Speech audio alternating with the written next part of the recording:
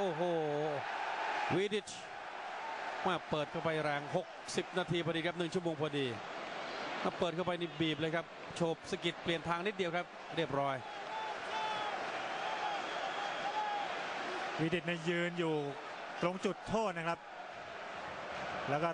วิ่งโถมเข้ามาแบบนี้นี่ป้องกันลำบากครับ ไม่มีใครประกบเลย รู้สึกว่ามันจะไปโดนผู้เล่นของเวสต์บรอมวิชครับเหมือนโดนหลังนะครับอื้อหือแต่ว่าต้องให้เครดิตวิดิช